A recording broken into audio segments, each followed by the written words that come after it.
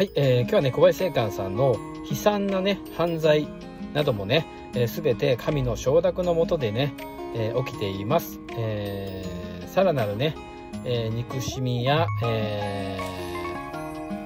ー、恨みは、えー、さらなるね犯罪を呼ぶだけというねお話をさせていただきます、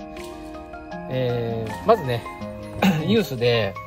まあ、1億人の方に向けてえー、こういったね犯罪がありましたというニュースは毎日のようにあります。でどういうね感情に皆さんがなるかっていうとあこんな悪いやつがいるんだとかこんな悪い人間がいるんだっていう、えー、情報が頭に入ってくるわけですよね。で入ってきたことによってこういった人間をすぐに排除すべきだとか、えー、捕まえるべきだ許せないね、えー、まあ力でね押さえつけてでも、えー、はいえー、この人間を取り除くべきだという敵意とかね憎しみが生まれてしまいます。あまあ法律をね、えー、のルールをやルールね社会のルールを破ってるわけですからもちろん、えー、ねえー、法の下で裁かれるっていうのは当然なんですけどもただねこれだけ多くの人間が、えその人1人がね、えー、犯罪を犯すことで本当にものすごい数のね、えー、敵意と、えー、憎しみが、えこの空間に生まれてしまいます。えそれによってねどうなるかっていうとやはりね、え連鎖反応が起こってしまい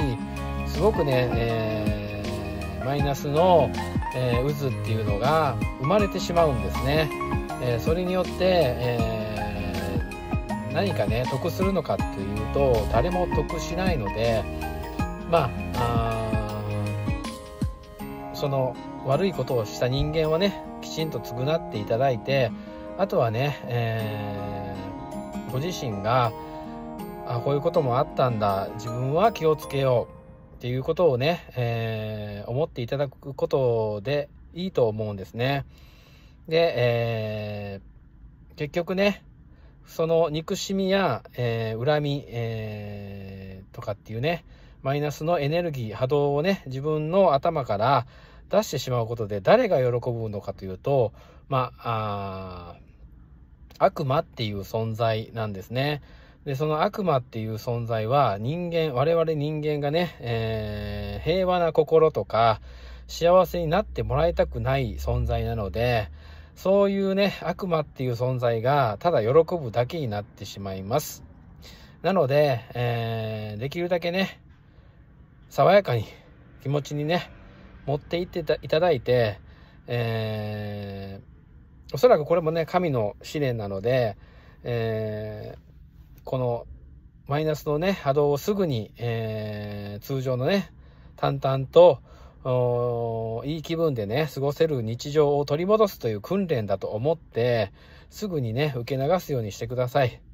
えー、そうすることでね、あの、神様っていう存在が喜ばれます。喜ぶことで、我々のね、魂がまた、えー、成長することができると思います。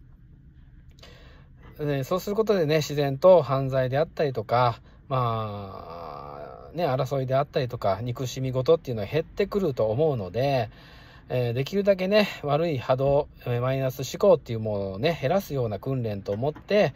えー、これからそういったね、えー、犯罪という、えー、全てのね、出来事を見ていってもらえたらなと思います。いつね、自分自身がそういうね、えー、ことに巻き込まれるかわからないことがあるので、できるだけね、早く許せるような、えー、そしてね、犯罪の少なくなるような世の中にしていきましょう。えー、一度考えてみてくださいませ。チャンネル登録どうぞよろしくお願いいたします。